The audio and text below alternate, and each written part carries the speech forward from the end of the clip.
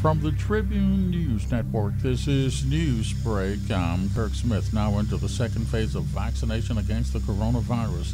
Second dose is now available in the capital and Grand Bahama beginning today. The vaccine committee says all sites in the capital and Grand Bahama are now available for those second shots. There's still some concern about vaccine hesitancy in the country. To date, about 36,000 persons have received their first shots, but some people are still reluctant to take it. Health officials not sure why, but they're again urging persons to get information from reliable sources and not to rely on information being circulated on social media. The clock is ticking on the current emergency orders. It expires May 23rd. Prime Minister Minnis says no decision yet on what will happen. We've been watching the statistics, um, watching the hospitalization, watching the response in the public. Uh, our main objective and goal moving forward is to ensure that we come out of um, what we're going through as quickly as possible. So I would um, discuss um, with um, physicians, um, hear their views, and um, after which discuss with my colleagues, and then come up with a final determination which is best uh, for the nation. Police in the capital say they have no official report about a post-funeral Junkanoo rush out in the Central area here in the capital over the weekend. Video posted on social media, area MP Reece Chipman saw it, called it disheartening.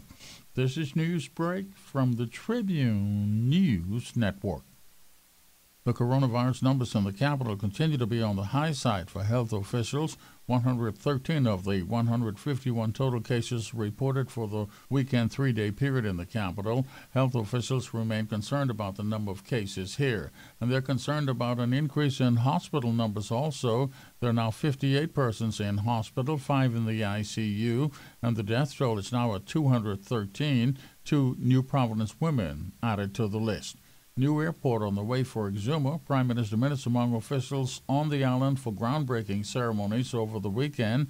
They believe this will have a positive impact on the tourism numbers for the island in time. Former DNA leader Branville McCartney among those cited for a corona curfew violation. Seems he stayed out beyond the 10 p.m. deadline on his birthday last week. He's facing a fine. His lawyer says he'll pay it, likely. Details of the day's top stories in the Tribune newspaper. On the streets first thing in the morning. Stay up to date online at Tribune242.com. Now, the Tribune's overnight AccuWeather update brought to you by Bahamas Power and Light, BPL. No systems in the area. Partly cloudy tonight. Overnight lows from the mid to upper 70s. 75 at Freeport, 77 in the capital, 78 at Matthew Town. No marine advisories. Winds falling to light and variable. The sea is three feet or less. The next tide is a high around 8 o'clock this evening. Tuesday's forecast partly sunny, highs in the mid to upper 80s. Your weather update brought to you by Bahamas Power and Light BPL. Through all severe weather situations, they will be there by your side. This is Newsbreak from the Tribune News Network. Let the Bahamas and the world know that you're open for business by advertising in the Tribune and on Tribune242.com. Reach the market that'll get your cash registers ringing by calling 502-2394 today. Our professional advertising agents are on hand to customize packages just for you, and consultations are free. Give your business the maximum exposure for an affordable investment, and let us help you increase your sales. Call 502-2394 today. We're open for business. Let the world know you are too.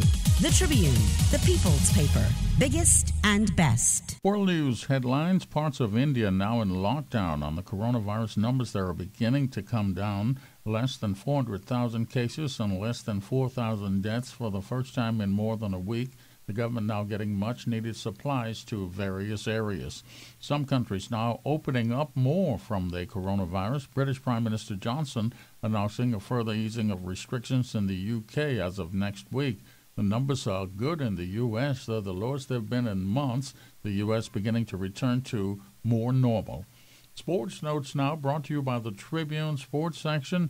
There's a little bit on TV, some soccer is there, and the NBA heading into the final week of the regular season.